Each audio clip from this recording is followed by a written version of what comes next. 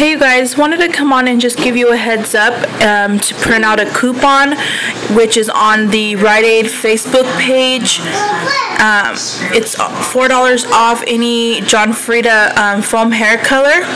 And this week these would be a money maker at Rite Aid with um, using this $5 off coupon as well as a um, $3 off video value but um, this one will make it a little bit better of a deal.